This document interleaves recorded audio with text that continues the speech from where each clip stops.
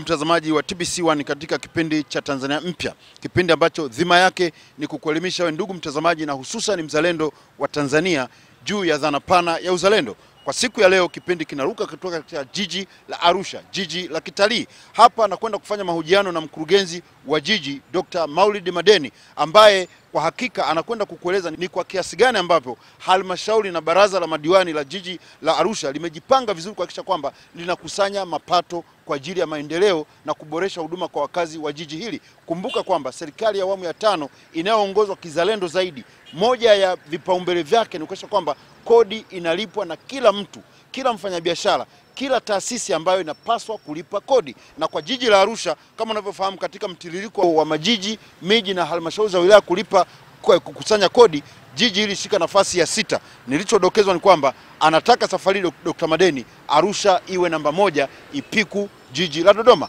Fuatana na mimi napokwenda kukutana na Dr. Madeni pamoja na viongozi wengine wa jiji hili uweze kupata habari njema kabisa juu ya kupandisha mapato ya jiji la Arusha.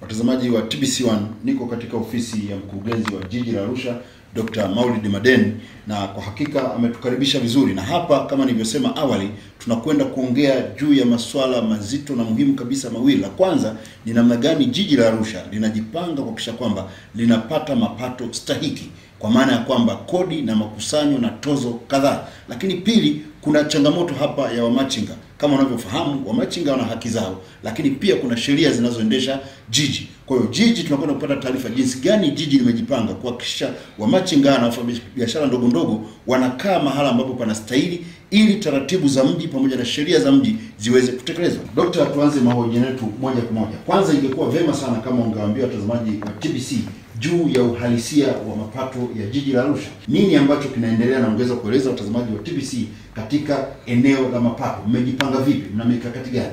Mapato ndio usalama wa nchi, kodi ndio usalama wa nchi, na usalama wa nchi ni kodi. Lazima tuweke wazi kwamba jiji la Arusha lina changamoto nyingi sana katika ukusanyaji wa mapato, kwa sababu kwa estimation ama kwa makadirio yaliyowekwa na wataalam kwamba tunaweza tukapata zaidi ya bilioni mia moja endapo kila mtu atawajibika katika sehemu yake katika ukusanyaji. Na pia uzalendo kwa wafanyabiashara. Endapo watakuwa wazalendo, basi tunaweza sisi wote tukapata bilioni mia moja au zaidi. Tunakusanya bilioni kumi, kumi na tatu kwa mwaka. Kusema kweli, hili ni jiji la kitalii, napokea wageni wengi sana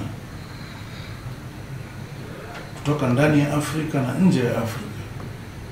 Hoteli zake zinajaa, nyumba za kulala zinajaa, watu wanafanya biashara na wanauza biashara. Kuna watu ambao sisi tumeenda kwenye maofisi yao, tumekuta mtu kwa miezi miwili mitatu mpaka sita anakusanya hapa bilioni 42. Mahesabu ambayo tumeyapiga kwa uchache tu, endapo tutakusanya tozo za ushuru wa huduma service levy, tunaweza tukapata bilioni hata 30,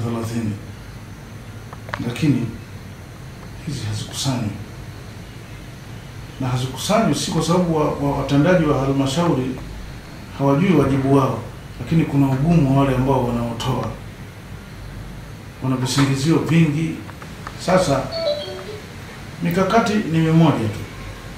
Mkakati mmoja ni kwamba ushirikiano ni nguvu na utengano ni udhaifu, sio tu baina ya wafanyakazi wa wa halmashauri ya jiji, lakini ushirikiano kutoka kwenye vyombo vingine vya serikali ambavyo viko ndani ya jiji la Arusha. Ushirikiano ukipatikana kutoka kwenye ofisi ya, ya, ya mkuu wa wilaya na OCD wake, ushirikiano ukipatikana kutoka kwa mheshimiwa RC na RPC wake, ushirikiano ukipatikana kutoka kwa wenzetu wa TRA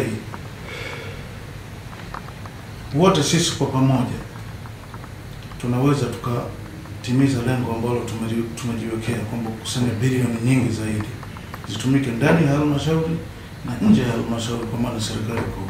Hatuna uwezo wa pat- wa kulipa mishahara wenyewe, mishahara na mambo mengine na pesa zingine za maendeleo zinatoka serikali kuu, lakini endapo tutafikisha bilioni mia moja tutakuwa tuna uwezo wa kujitegemea, tusiombe hata senti moja kutoka serikali kuu.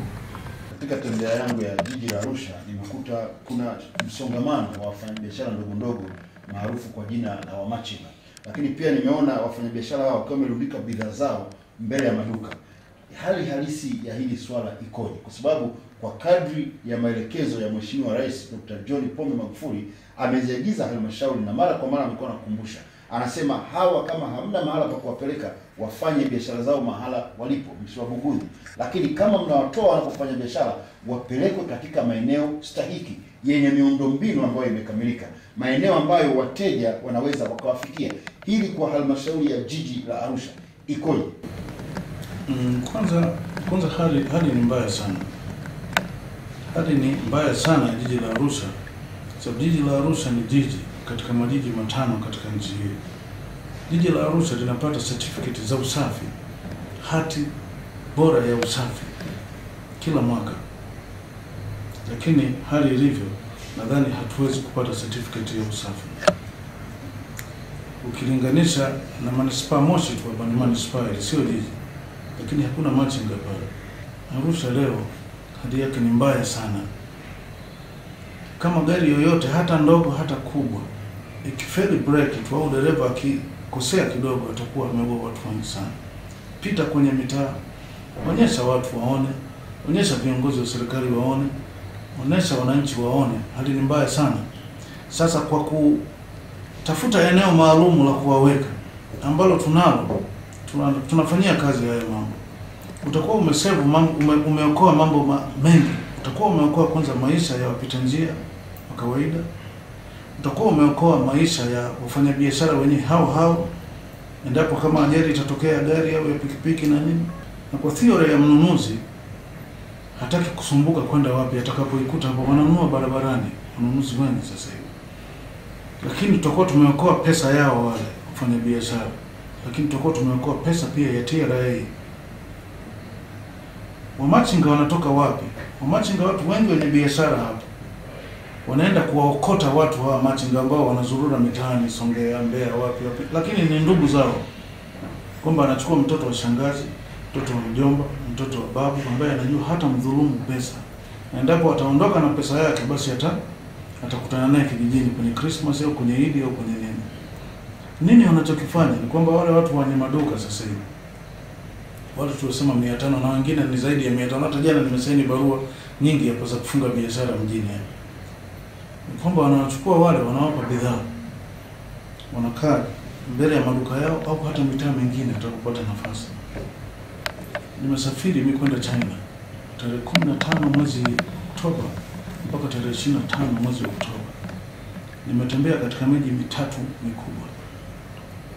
Moja nimeenda tumefikia Beijing ambapo ndio makao makuu ya serikali yapo na ubalozi wetu wa Tanzania huko pale.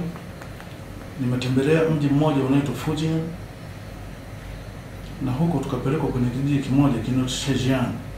Ni kijiji lakini ni kizuri na kisafi kuliko jiji la Arusha, hiyo nakwambia. Lakini tukaja tukamalizia Shanghai. Shanghai ndio kuna maajabu ya dunia pale tumeona. Katika sehemu hizo zote mpaka vijijini sijaona machinga anapanga bidhaa barabarani na wenzetu walishajua kwamba kodi ni pato la taifa. Kuwazagaa watu, kuwafanya hao wazagae, unakosa mapato mengi sana na ni mwanya. Na niliweza kuuliza wenzetu kule kwamba wana wamemanage vipi kuijenga China, kwa sababu China imejengwa, nchi yote inajengwa kwa, kwa kodi na, na ushuru mbalimbali, kwamba wamemanage namna gani, waliweza namna gani kudhibiti mapato ya kodi na kukusanya kodi. Kuna mtu anakwepa kodi, wakasema inawezekana wakawepo. Lakini tuna uangalizi wa vyombo ambavyo tumewa, tumevipa mamlaka ya kukusanya kodi. Kama TRA ya huku kwetu kule iko. Ile, wanaiangalia kwa macho matatu manne, lakini pia vile vile wanajaribu kufinya mianya yote na kuziba mianya yote ya ukwepaji wa kodi, na pia kuna sheria kali, wameweka sheria kali mbili. Kumfunga mtu kwa ki, kwa kifungo cha muda mrefu na kunyonga. Kwa kosa la ukwepaji wa kodi na kula rushwa.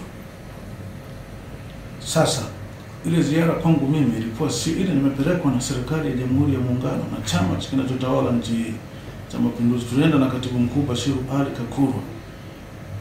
Sio ziara ilikuwa ya picnic ile, ile ni ziara ya kazi ya kujifunza. Kwa hivyo nataka nichukue mafunzo niliyopata kule kutoka kutoka kwa wenzetu wa China kuileta jiji la Arusha. Tuta practice hiyo hapo kuangalia mianya ya rushwa niko wapi, mianya ya ukopaji kodi iko wapi, na tayari tumeshaanza kuifanyia kazi na tuna implement sasa hivi, tunatekeleza ili tuweze kuikusanya kodi hii tuisaidie nchi hii. Nchi hii tusipoisaidia sisi watu wenyewe, hakuna mtu wa nje atakayekuja kutusaidia kuiendeleza. Ni lazima tuwajibike, na hii huu ndio wakati.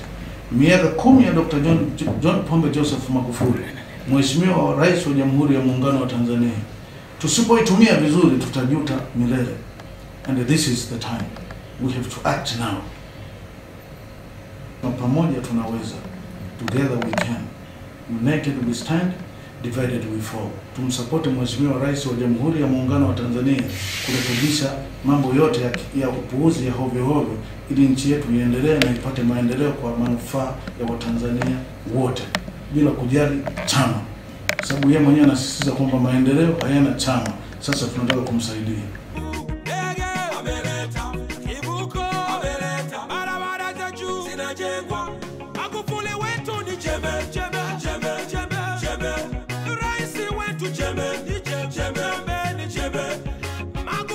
Jembe, jembe, jembe, jembe. Kiongozi wetu jembe, jembe, jembe. Watazamaji wa TBC1, ni matumaini yangu umemsikia mkurugenzi wa jiji la Arusha Dr. Maulid Madeni akikueleza ni kwa kiasi gani ambavyo uongozi wa jiji la Arusha na mkoa wa Arusha umejipanga kuhakikisha kwamba jiji la Arusha linarudi kwenye hadhi yake ya kuwa Geneva of Africa, lakini kubwa zaidi anatekeleza maelekezo ya Mheshimiwa Rais Dr. John Pombe Magufuli kwamba wamachinga wasibugudhiwe, lakini watafutiwe maeneo ya kufanya shughuli zao, kwa sababu wao pia ni Watanzania, ni watu ambao wanastahili kupata riziki yao. Lakini kuthibitisha kwamba anatekeleza kauli ya Mheshimiwa Rais ni kwamba halmashauri ya jiji la Arusha ina maeneo takriban manane ambayo mengine yana miundombinu, mengine hayana miundombinu. Lakini sasa hivi tunaondoka hapa katika ofisi yake tukienda katika eneo la Elrai ambalo ni eneo kama bonde fulani hivi, lakini lenye miamba mizuri kabisa. Hili ni eneo ambalo unakwenda kuliona likiwa liko katika ughafi au katika raw, raw standard, lakini litatengenezwa vizuri na kuwekewa miundombinu ili baadaye wamachinga waweze kufika pale. Kwa hakika ninaamini utashuhudia ni kwa kiasi gani ambavyo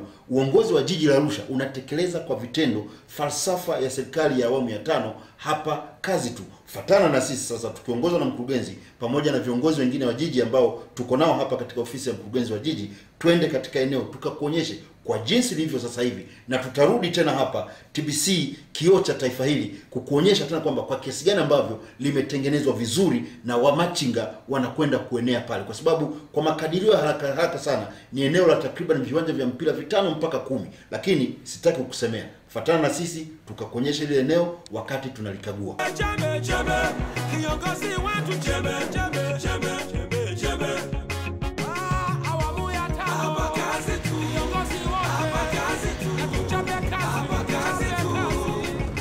Watazamaji wa TBC1, tunafika sasa katika eneo la la LRI. Kwa hakika ukiliangalia kabla wahandisi hapa wajafanya kazi yao, unaweza ukadhani kwamba ni pori, lakini kama ambavyo mkurugenzi wa jiji la Arusha ameahidi, mara baada ya kuwa pametayarishwa vizuri kabisa, TBC1 hususan Tanzania mpya itakuja hapa ikuonyeshe ni kwa kiasi gani ambavyo taaluma ya uhandisi inafanya kazi yake. Ni eneo kubwa sana kwa hakika, unaweza ukaona picha ambazo zinapita kwenye skrini hapo. Kwa sasa ilikuwa ni eneo ambalo linachimbwa madini ya mawe ya ujenzi, lakini limebakia sasa shimo hili ambalo linaweza likazibwa kabisa na watu wakaweza kufanya shughuli zao. Ni kama mfano wa eh, shimo la udongo pale Kurasini ambapo zamani palikuwa pakichimbwa madini ya udongo wa ujenzi, ni sawa sawa na hapa, lakini hapa palikuwa panachimbwa mawe pamoja na kifusi kigumu. Kwa hiyo ni swala tu la wahandisi kuweza kutumia utaalamu wao kuona kwamba e, panakaa vizuri, lakini pia panawekewa miundombinu kama vyoo na maji, halafu wafanyabiashara watakaa. Angalia tu eneo hili ambavyo linavyokwenda ni takriban viwanja vinane au kumi vya mpira. E, fuatilia kipindi hiki ili uweze kupata picha halisi, na e, muda si mrefu tutafanya mahojiano hapa na mkurugenzi juu ya mipango ya hapa, lakini pia mhandisi wa jiji yuko hapa kwa ajili ya kukuonyesha nini mipango ambayo inakwenda kufanyika ili eneo hili likawe rafiki kwa wamachinga na watu wa biashara ndogo ndogo.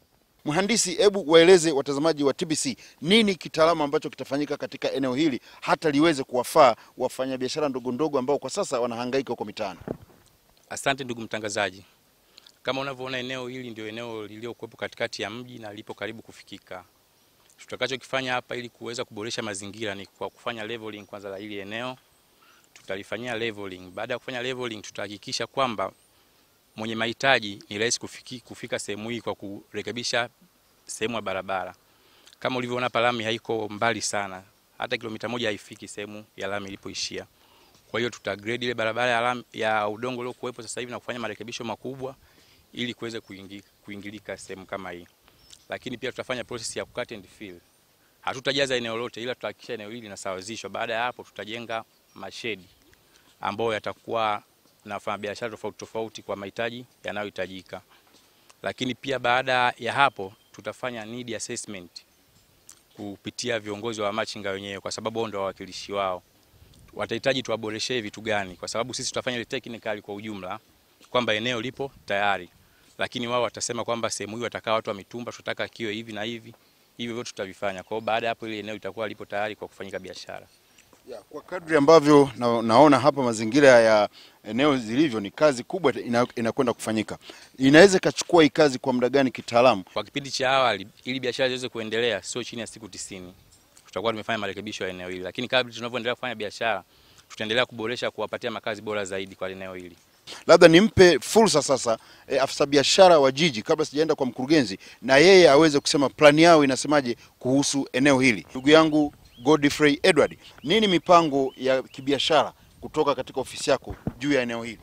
Asante ndugu mtangazaji, kama ambavyo tumekwisha kupata maelekezo kutoka kwa engineer Mshuza, eneo hili tumeplani kwamba once itakapokuwa limemaliza kutengenezwa na kuweza kulirevo likawa katika hali nzuri kabisa ya kuwafaa wafanyabiashara wadogo, basi tutakaa na wafanyabiashara wadogo tuweze kuwasikiliza wanahitaji turekebishe kitu gani, ili tuende nao kulingana na mahitaji yao.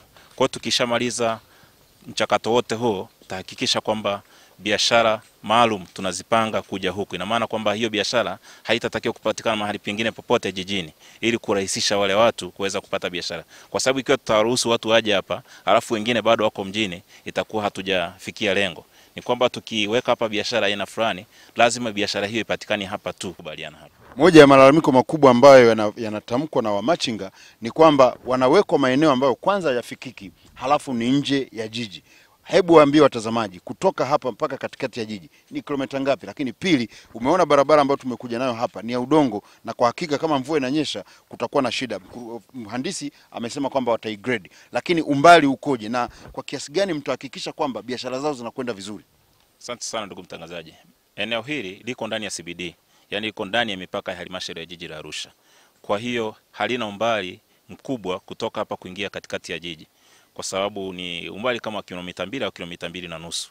Kwa hiyo ikiwa tutajiandaa na wote tukawa na nia moja kuhakikisha kwamba tunawaandalia ndugu zetu eneo la kufanyia biashara, bila shaka litawafaa. Halmashauri na hususan kitengo cha biashara kimejipanga vizuri kabisa kwamba biashara zote zitakazokuja hapa hazitapatikana katika sehemu ya mji. Kwa hiyo kama unahitaji viatu vya mitumba utakuja hapa, unahitaji mikanda utakuja hapa, unahitaji nani mabegi ya kina mama utakuja kuyapata hapa. Sasa ni fursa ya mkurugenzi wa jiji Dr. Maulidi Madeni aeleze na yeye kwa kifupi, mara baada ya ziara hii, nini matarajio yake kutokana na mpango huu katika kutatua mahala pa kufanyia biashara kwa wafanyabiashara wadogo wadogo. Mkurugenzi, nini maoni yako baada ya ziara hii ambayo wataalamu wametuleta hapa katika kuhakikisha kwamba jiji la Arusha kama ulivyosema kwamba inakuwa sio Geneva of Africa bali ni Shanghai of Africa? Hey, Kwanza, kwanza kitu cha kuzungumza kwamba hii sio plani ya mwisho.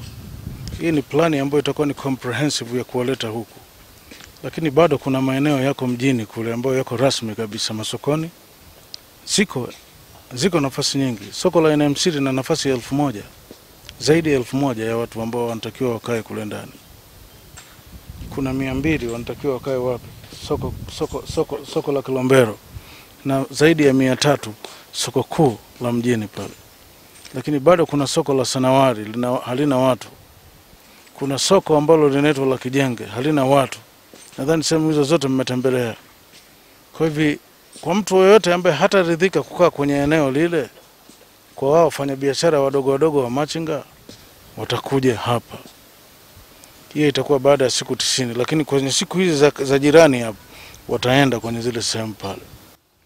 Kwa hiyo kwa maneno mengine ni kwamba sio kwamba tu ni eneo pekee hili la LRI ambalo limetengwa, bali kuna maeneo mbadala mengine. Liko soko la Kijenge halina watu, liko soko la Sanawari halina watu, liko soko la Elmatojo halina watu, soko la Elerai lenyewe lile pale la karibu ya hapa halina watu.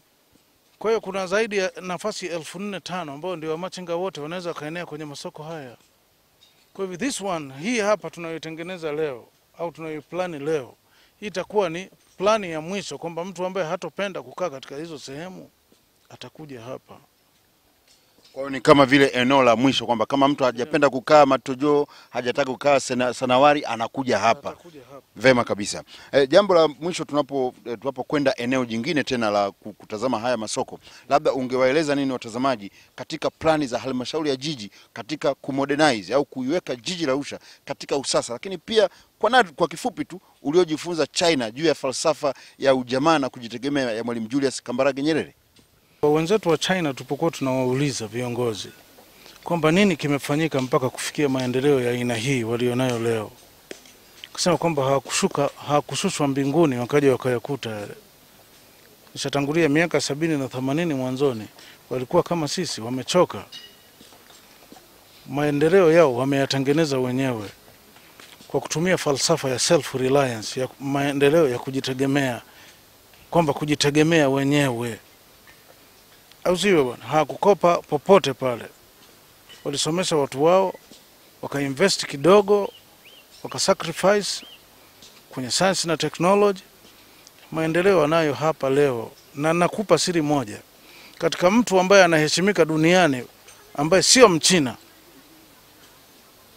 ni Mwalimu Nyerere. China, China wanamheshimu sana Mwalimu Nyerere kwa sababu mzee Mao na Mwalimu Nyerere walikuwa ni marafiki na inasemekana kabisa falsafa za Mwalimu Nyerere ndio amezitumia Mao kuendeleza ile China kwa kutumia, kwa kutumia ile, ile, ile, ile, ile fal, falsafa ya kisiasa ya self reliance ya kujitegemea wenyewe ambao Mwalimu alizungumza sana na kujitahidi kuitekeleza hapa. Kwa hivi leo hii Mwalimu akaja akafanya kama alichofanya Mao kule miaka ya sitini, kujenga nchi, kutengeneza viwanda, lakini kwa bahati mbaya tu katika nyakati fulani wanafunzi wa Mwalimu wakauza viwanda, lakini China hakuthubutu kufanya hivyo. Sasa hii leo hii mtu ambaye hakufanya kazi na Mwalimu Dr. John Pombe Joseph Magufuli ndio pekee ameenda kwenye falsafa zile zile za Kimao na Mwalimu Nyerere kuanza tena kuisuka upya Tanzania. Kwa hivyo ni jukumu la Watanzania sasa hivi kumsapoti kwa kutumia nguvu zetu sisi wenyewe, kwa kutegemea msaada. Hakuna mtu msaada anayetuletea hapa, kwa sababu kwa falsafa ya, ki, ya, ki, ya kisiasa za, ki, za kidunia, siasa za uchumi wa kidunia, aliyoko juu hawezi kusaidia wewe wa chini uendelee, ni lazima akukandamize ili aendelee kuwa, kuwa juu. Kwa hivyo hata misaada tunayoletewa leo, ndugu yangu, ni misaada ya kutengeneza tu, kujenga mashule, au sivyo bwana, kutengeneza barabara lakini hakuna msaada wowote wa ku strengthen ile science na technology level. Ambayo hiyo tunaweza tukaipata China tu, wako tayari kutusaidia katika eneo hilo, katika suala la kutengeneza viwanda vya magari, viwanda vya simu hapa na kutengeneza maybe eh, kuendeleza watu wetu kwenye eh, sekta yote ya, ya science na technology, wako tayari China. Ndio kitu ambacho nimejifunza China, na wamesema tuko tayari kuisaidia Tanzania kutokana na historia ya nchi hizi mbili na urafiki uliokuwepo kati ya Mwalimu Nyerere au sivyo mwenyekiti wa chama wa kwanza na mwenyekiti wa chama cha CPC Communist Party of China mpaka leo hivi mzee mzee Mao, na kwa heshima ya ku, ma, kwa heshima ya kuendeleza Mao na mazingira yake, ndio maana mpaka leo hivi CPC ambacho ndio chama tawala cha China hakina mwenyekiti, mwenyekiti wake anaendelea kuwa Mao rais wa kwanza wa Jamhuri ya China, wakati katibu mkuu wa chama ndio rais wa Jamhuri ya China wa sasa hivi Mheshimiwa Xi Jinping. Kwa hivyo mimi nadhani turudi kwenye ma mawazo yale yale ya Mwalimu Nyerere ya siasa za kujitegemea zaidi, tutafanikiwa. Lakini tukitaka misaada, tutasaidiwa misaada tu ya, ya pipi na karatasi tu- hatutoendelea. Lakini misaada tunayoitaka sasa hivi ni katika ar- area ya, ya, ya, ya kufufua na kuanzisha viwanda pamoja na area ya science na technology ambayo wazungu hawako tayari kutusaidia, lakini mchina yuko tayari kutusaidia. Hayo ndio mafunzo niliyopata China na, na kwa uhakika kabisa nawaambia kwamba tutafika. Dokta, nakushukuru sana kwa mahojiano haya.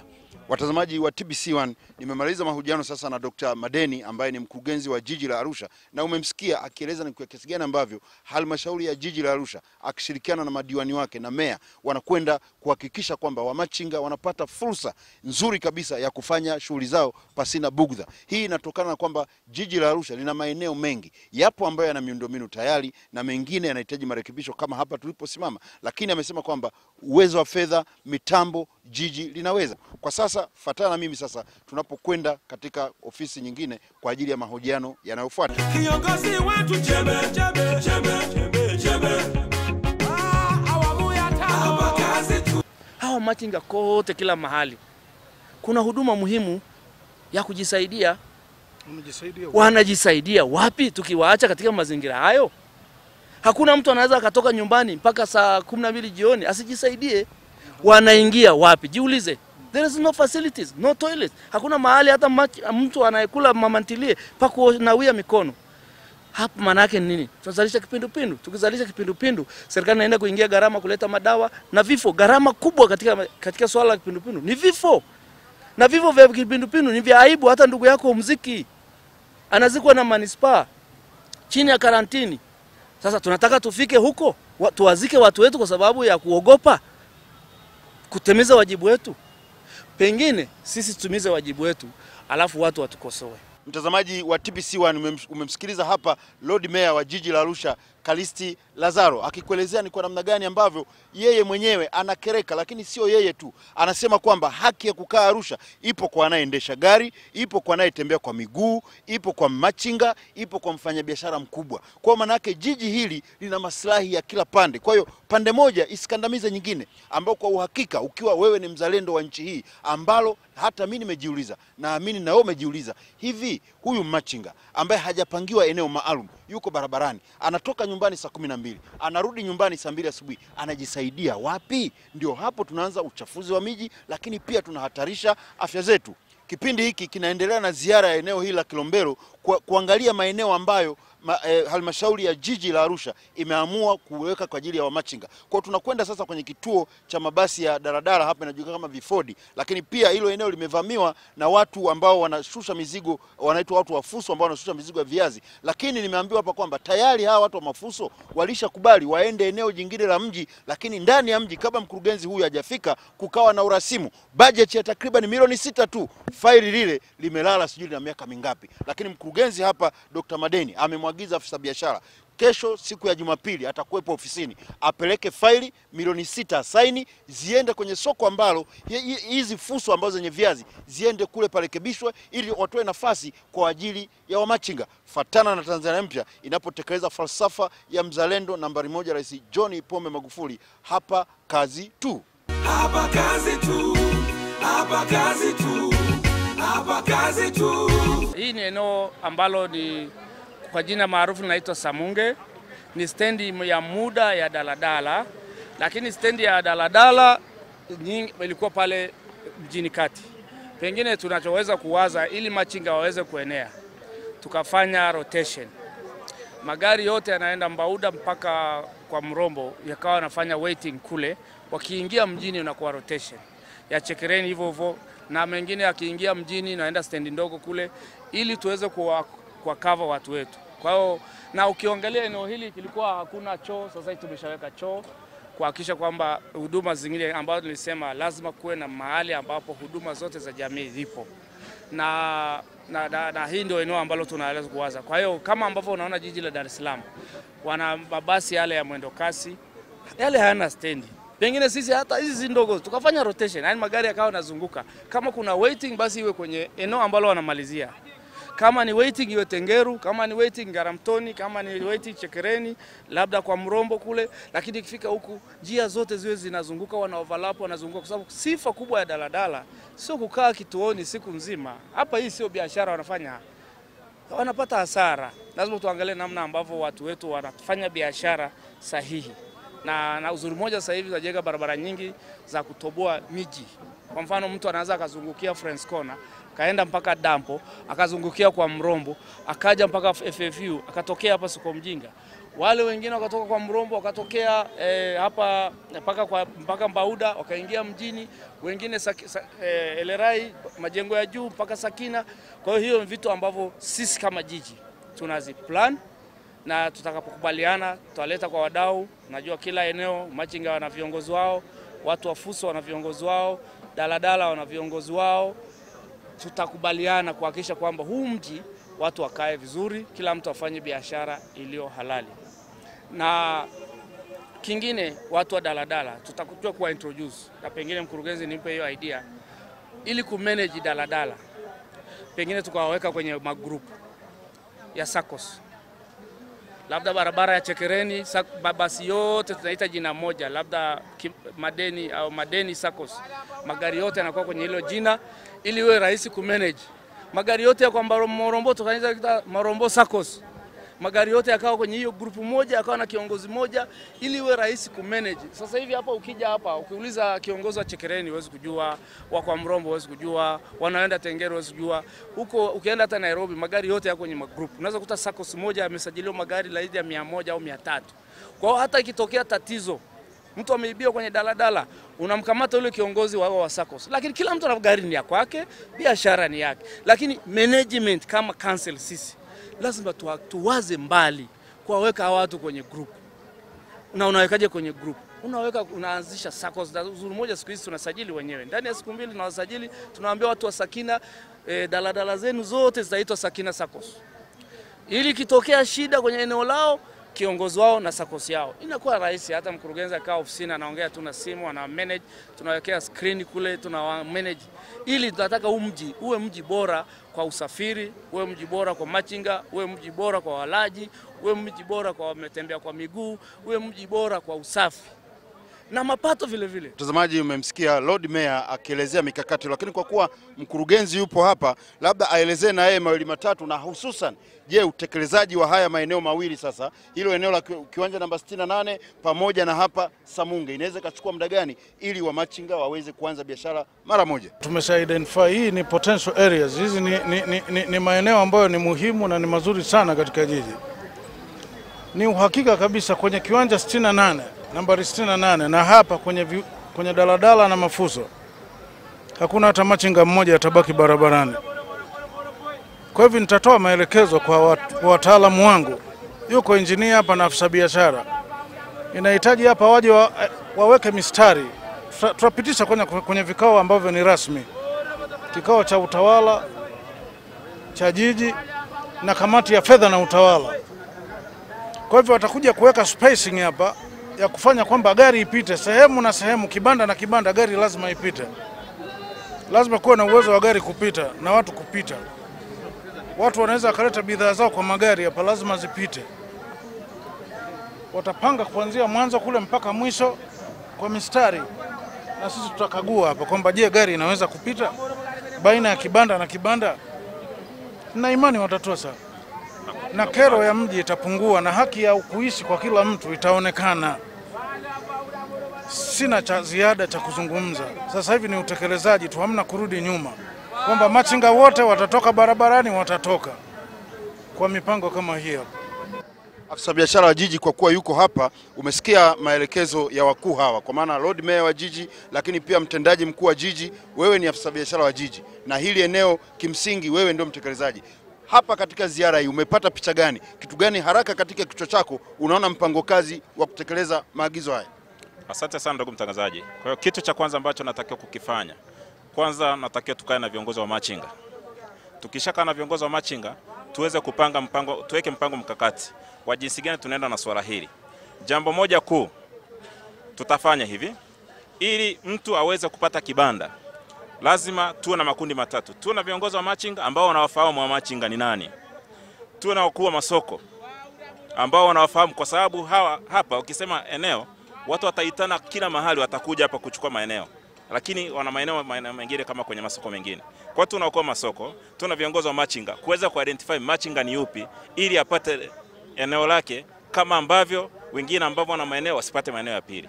Hiyo itatusaidia sana kuweza kuondoa mamluki ambao wanaingia kutoka kokote kuja kushika maeneo na kuyauza ambao hawafanyi biashara. Mtazamaji wa TBC1 hususan hususan kipindi cha Tanzania mpya, nafasi sasa nampa mhandisi wa jiji ambaye kwa haraka haraka naye kwa kuwa ni mtu wa miundombinu aeleze kitaalamu kwa ufupi tu nini mkakati wake katika kuona kwamba eneo hili sasa linatayarishwa kwa ajili ya wamachinga. Asante ndugu mtangazaji. Kwa kipindi hiki baada ya madaladala kuondoka, tutakuja kudesign vibanda viwe na ukubwa gani na space ya kupita magari na hata miundombinu ya vyoo tayari imeshaandaliwa na miundombinu ya maji pia imeshaandaliwa. Kwa hiyo tutakuja kuchora mchoro wa vibanda haraka iwezekanavyo baada ya madaladala tu kuruhusiwa kuondoka na kufanya leveling ili ile eneo lisiwe na vumbi kwa muda mrefu. Umesema kwamba mtatengeneza mchoro hapa kwa ajili ya vibanda, lakini kumekuwa na shida. Kuna haja ya kuwa na uniformity, maana ukisema wewe eneo lako, huyu mtu anaweka kibanda cha hivi, mwingine cha hivi, nini mpango wa kuhakikisha kwamba kunakuwa na uniformity ya vibanda au meza? Mpango wa hivi vibanda utapata mwongozo kutoka kwa ofisi ya mkurugenzi wa jiji kwamba vibanda vitakuwa vya square, mita fulani. Baada hapo, kila mfanyabiashara atapewa kibanda chake kwa kutokana na mwongozo wa jiji. Sio kila mfanyabiashara ataruhusiwa kujenga kibanda kama yanavyotaka. Kwa hiyo kutakuwa kuna mpangilio wa vibanda vyote.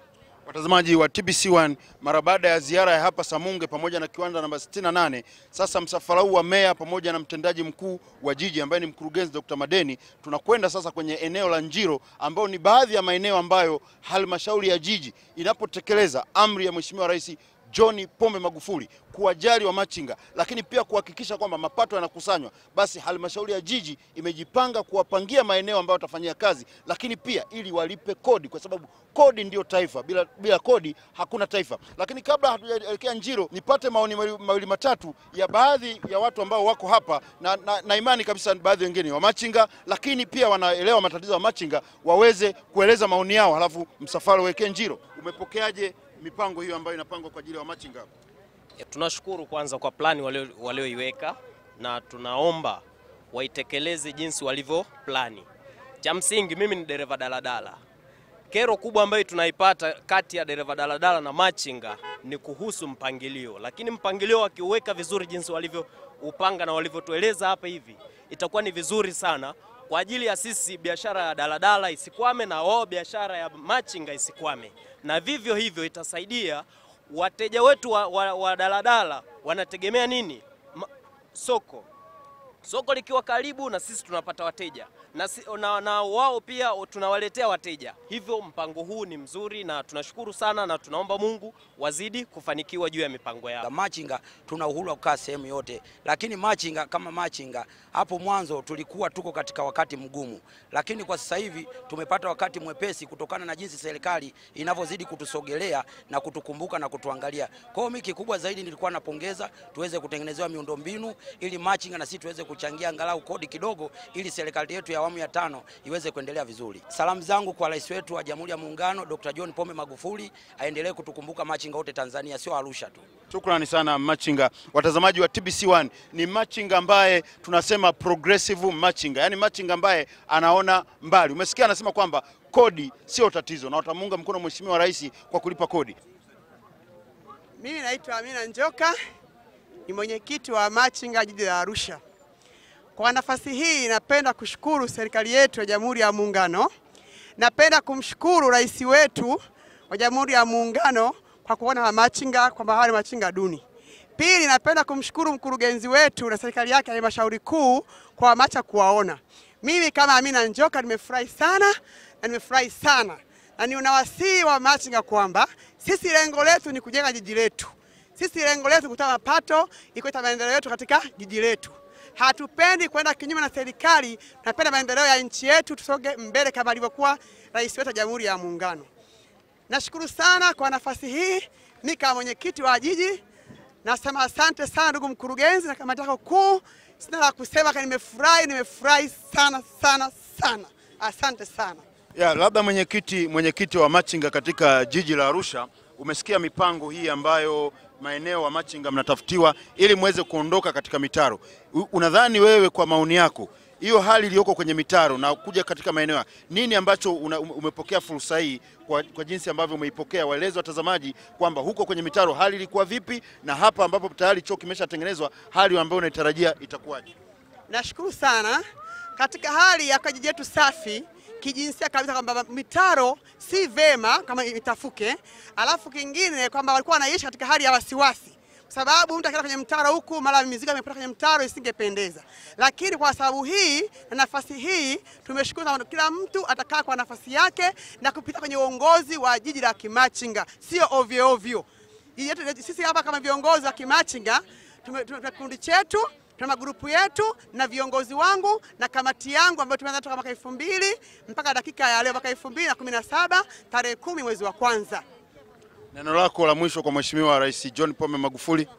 Tuna hamu sana yaani kama sisi wa machinga jiji la Arusha, endapo tutapata nafasi ya kuja katika mkoa wetu tukushukuru na tupewe nafasi ya kushukuru, ili wananchi wako wakufurahie kabisa. Lakini la mwisho kabisa, nimeona ulikuwa umefika hapo ukiwa unatembea, lakini wakati tunaanza mahojiano umeamua kupiga magoti. Nini, msukumo gani umepata mpaka ukaamua kupiga magoti?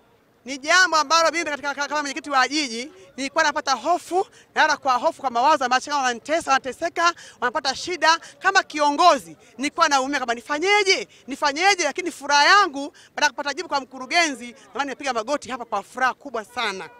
Lakini kuna swala pia la kodi, kwa sababu moja, ili halmashauri ya jiji iweze kuwahudumia, kuna swala la kodi. Wewe na kama kiongozi uko tayari kuhamasisha wenzako kulipa kodi? Mimi kama mwenyekiti naahidi kwamba katika wamachinga wetu na umoja wetu hakuna mtu yoyote ambaye hajatayari kutoa ushuru. Wamachinga wote washirikiana kutoa ushuru kuleta maendeleo ya nchi yetu na jiji letu. Watazamaji wa TBC1 unaweza ukamwona e, mwenyekiti wa machinga hapa katika jiji la Arusha. Kwa hakika anamshukuru Rais John Pombe Magufuli ambaye anawapigania sana, lakini kubwa amesema kwamba anamshukuru mtendaji mkuu wa jiji la Arusha, mkurugenzi wa jiji la Arusha Dr. Maulidi Madeni kwa kukaa na pamoja na madiwani wake kupanga mipango hii kwamba wamachinga wapate maeneo rasmi tena ndani ya biashara, ndani ya wilaya ya kibiashara ya Arusha kwa maana ya CBD. Lakini pia Dr. Madeni hawezi akafanya kazi bila rais wa madiwani wa jiji la Arusha ambaye kwa hakika ninaweza nikaona nguvu yake ya kisiasa kila nilipotembea naye. Lakini kwa maana hiyo mwenyekiti wa machinga hapa aongee mawili matatu kuhusu meya wa jiji la Arusha. Nashukuru sana ndugu mheshimiwa meya wa jiji la Arusha. Wananchi wana furaha sana na sana. Hapa napoongea nasikia uchungu, natamani kulia lakini haipendezi. Lakini kama serikali ya halmashauri kuu imekaa pamoja na kama na mimi na uongozi wangu na kamati yangu tunashirikiana vizuri, tuna jiji letu vizuri, tukae vizuri, itete maendeleo yetu vizuri, yani ili jiji letu liwe mfano katika mikoa mingine yote, kuondoa uchafu barabarani, kufagia, kujipanga, ili magonjwa mengine ya kipindupindu ambayo hayana msingi yaondoke. Isipokuwa tunaomba tunaomba kwa TV hii kwamba sisi umoja wetu hakuna mtu yeyote ambaye atakwenda kinyume na utaratibu wa kuvunja umoja wetu. Yule ambaye hajaja kwenye uwanja wetu atajiunga kwa utaratibu vizuri, ili watu wa zamani walikuwa wanavamia maeneo bure. Hii taratibu hatuna tena. Tuna taratibu vizuri, tunapanga vizuri, kila mtu na jina lake vizuri, ili mtu kila mtu apate nafasi, mtu mwenye machinga alisia kabisa. Yaani kwa nakonda mimi jamani, nashukuru sana, nashukuru sana bangu. Mungu akubariki na sisi tunakupenda sisi nakupenda. Yaani tuko pamoja, tutashirikiana pamoja na wewe, tuta maendeleo yetu, nchi ipendeze, jiji lipendeze. Shukuru Dr. Magufuli. Namshukuru rais wangu, yani maana nimesema nina hamu aje, usisahau nafasi sisi, yani mkurugenzi, usisahau nafasi yetu ya kamati kama kila rais. Tumshukuru si wenyewe, yani tumuone sisi kwa macho yetu wenyewe, yani tuna hamu sana. Siku akija usitusahau kabisa kabisa, tunakuomba, tuko chini ya miguu yako. Hatu tuna hamu mpaka tufike bungeni kwake tujifunze mambo mengi. Nashukuru sana mimi. Nakushukuru sana baba. Nakushukuru sana, mmekaa vikao vingi, mmeteseka kwa ajili yetu. Tunawashukuru sana na Mungu awabariki. Sisi wote ni wanadamu, tupendane, tushirikiane, tujenge taifa letu. Nashukuru sana. Na nyie kwa kuelewa mahitaji ya jiji, kwa kuelewa kwamba tunatakiwa hii jiji sio la meya, sio la mkurugenzi, sio la mtendaji. Hili jiji sio la madiwani. Hii jiji lina wananchi wote, kila mtu afurahie matunda ya kuishi hapa mjini, na nina imani kwamba tukishirikiana kama ulivyosema, sisi tuko pamoja na ninyi, machinga msigawanyike. Mimi cha mwisho ambacho naweza kumwambia kiongozi wa machinga jiji la Arusha dada yangu Njoka ni kwamba amshukuru sana Mheshimiwa Rais wa Jamhuri ya Muungano wa Tanzania kwa sababu yeye moyo wake ndio unaolia kwa ajili ya walala hoi na wanyonge, na alishazungumza mwanzo kwamba hawa matajiri wameshatetewa miaka zaidi ya hamsini sasa au karibu miaka hamsini. Sasa ni zamu ya sasa hivi yeye kuwatetea, yani ni zamu ya wanyonge kutetewa maskini walalahoi. Yeye ndio anayetupanga sisi vijana wake, ndio jeshi lake Mheshimiwa Dkt. Magufuli. Nendeni huku mkafanye kazi. Kwa hivyo mimi msinipe shukurani, mumshukuru Mwenyezi Mungu na mumshukuru Dr. John Pombe Joseph Magufuli kwa kuwatetea na kulia kwa ajili yenu. Tuko hapa kwa ajili ya Dr. Magufuli, ametu, ametuelekeza tuje tuwatetee wanyonge na tuitetee serikali yake ambayo inahudumia kwa maslahi ya wananchi wote wa Tanzania. Kwa hiyo mshukuruni sana Mheshimiwa Rais Tunashukuru sana na Mungu ampe afya na ampe busara na ampe nguvu za kuweza kuliongoza hili taifa kwa miaka kumi, na ikiwezekana twende kama China. Wenzetu China kule, kwa kumwona Xi Jinping ni mtu wa maana, amesema atawale maisha. Sisemi haya, lakini fikirieni nyiwe wenyewe.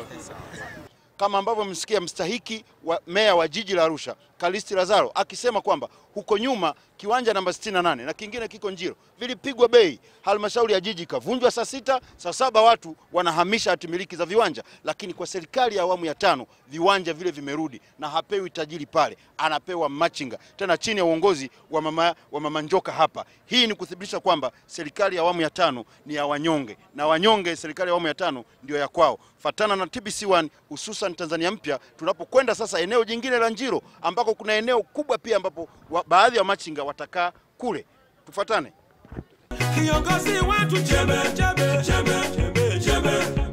Ah. Hili eneo lilikuwa limepigwa kwa sababu halmashauri haikuwa na kumbukumbu kwamba ni eneo lake, na hapo hii barabara mpya unaona ya Arusha bypass imejengwa hivi, hivi karibuni, na kawaida TANROADS inapopita kwenye ardhi ya mtu inamfidia. Kwa hiyo si ajabu hapa kuna mtu kafidiwa fedha ambazo hastahili. Huu ndio uzalendo ambao mzalendo nambari moja Rais John Pombe Magufuli anauhubiri. Huyu ni meya wa jiji la Arusha ambaye anatoka chama cha upinzani cha Chadema, lakini haangalii, anachoangalia ni uzalendo, kwa maana kwamba kwenye vitabu vya halmashauri hiki kiwanja kilikuwa hakionekani, lakini meya kwa uzalendo wake amemleta mkurugenzi wa jiji ambaye ni mgeni, hana hata miezi miwili mitatu, kumwonyesha kwamba hii ni mali yake. Watazamaji, ama hakika kupitia kipindi hiki na fursa hii ya kuwa Arusha, unaweza ukaona kwa jinsi gani ambavyo uzalendo ni kila kitu kwa taifa hili. Kwa hiyo hii eneo ni mpaka kule ng'ambo ya barabara na, na barabara imepita hivi. Sasa hatujui nani kafidiwa kwenye hii bypass. Pengine kuna mtu kashajipiga picha kafidiwa na TANROADS, lakini hewala, mali hiyo ni ya serikali na tutaenda kuchunguza nani alilipwa hapa, lakini hii eneo ni mali ya halmashauri ya jiji la Arusha, na kwenye plani yake ni soko, sheli na malls. Soko sio ile soko kama tulivyoenda, ni yale masoko ya majengo, soko ya kisasa ambayo ni watu, kuna supermarket ndani nini, cold, cold rooms ziko ndani, soko ya namna hiyo. Ndio kwa sababu huku kama nilivyosema pale Njiro, huku na pale ni sawa, na kwa sababu tayari tuna barabara hii ya lami ambayo ni bypass. Sasa ile mikakati iliyowekwa kwenye survey plan na ramani ile, sasa ndio wakati wake wa kuwekeza hapo. Unaweza uka welcome watu wakajawekeza hapa gorofa hapa, ikawa ni eneo la biashara, na kwa sababu ni roundabout ya kwenda hivi na kwenda hivi na kwenda hivi na kwenda chini. Nakumbuka hii barabara tunaongeza kilomita nyingine kwenda atomic, kwa hiyo na maana lami inaongezeka kwenda chini. Kwa this is a strategy kwa income ya jiji, tukiweza kuwekeza tupata hela kuliko kukimbizana na mia mbili mia mbili hapo tunakuja kupata dola hapa. Hii ni jiji la dola.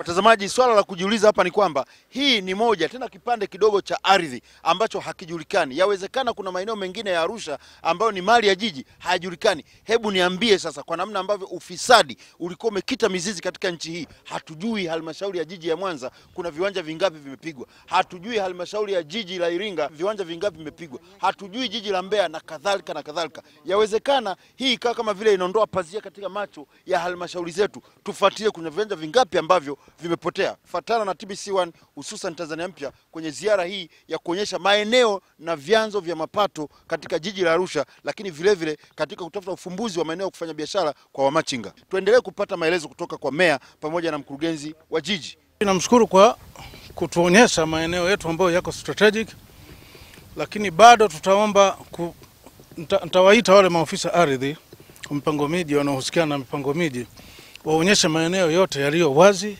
ambayo yanamilikiwa na jiji kuja kuweka alama, kwa sababu maeneo mengi wameweka alama, lakini najiuliza mpaka leo hii kwa nini eneo hili halijawekwa alama. Hilo ni swali ambalo nitawauliza watu wa mipango miji, Mungu akipenda, tukikutana nao na kuweka mikakati ya kuyaendeleza haya maeneo kwa ajili ya maendeleo ya Wanaarusha na maendeleo ya, ya nchi yetu ya Tanzania.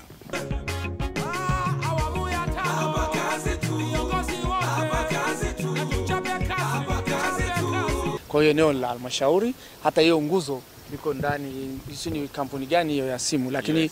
eh, ndio ile maeneo kwamba kuna mmoja, kuna ile ho, ile hot, nani ushuru ule wa, wa minara, lakini vile vile kwa vile yes, alafu kuna e, e, mnara iko kwenye eneo la halmashauri, pengine hata rent, labda kuna mtu anakula hapa, you never know. This was planned 15 years ago, lakini hawezi kuwa na jiji yenye maduka ya namna na, na kulingana na, na jiografia ya Njiro, purchasing power ya watu wa Njiro wanataka vitu vya high class, sio hivi. Eh, eh. Kwa hiyo watu wa Njiro hawezi kuwajengea hivi wakaja hapa.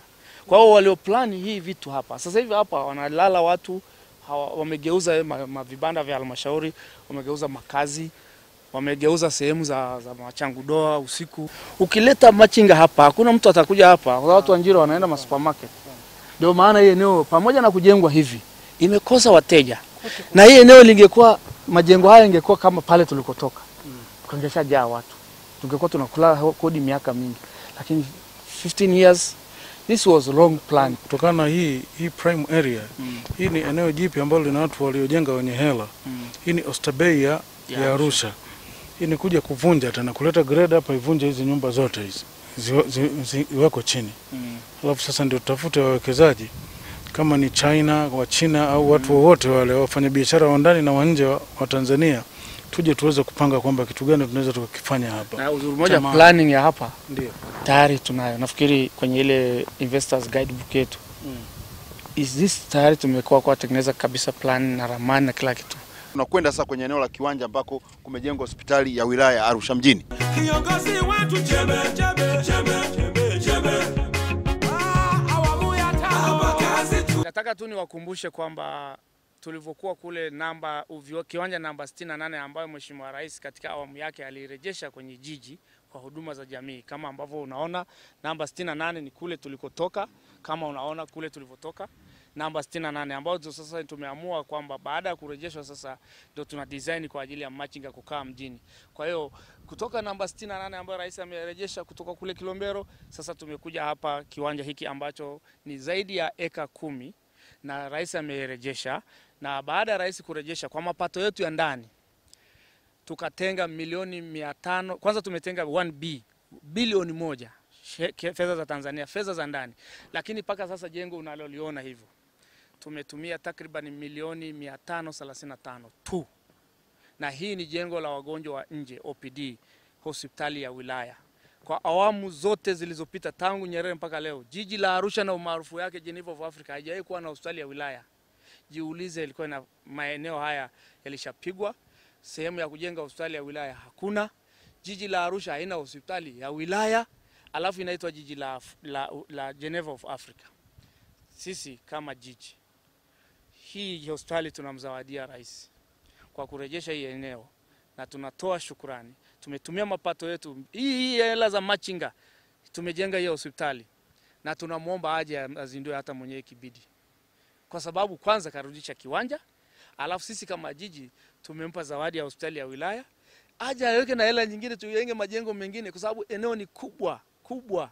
Watazamaji, napofika sasa ukingoni mwa kipindi hiki na furaha kubwa sana kuwa na wazalendo hawa wa jiji la Arusha ambao kwa hakika napoaga basi niwape mikono ya kizalendo kwa kuonyesha kabisa kwamba watu hawa wanatekeleza kwa vitendo kabisa falsafa ya mzalendo nambari moja, rais wetu Mheshimiwa Magufuli ya hapa kazi tu. Kutoka hapa katika jiji la Arusha, mtangazaji wako Lugenzi Kabare, kwa sasa nasema bye bye.